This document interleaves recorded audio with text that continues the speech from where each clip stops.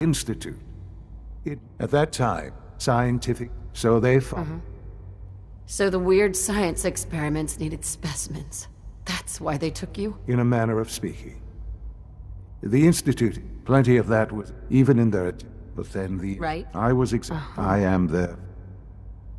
Shaun. That was Butcher Pete by Roy Brown, not. not It's really... It really. I know you. Mm -hmm. So, you're in charge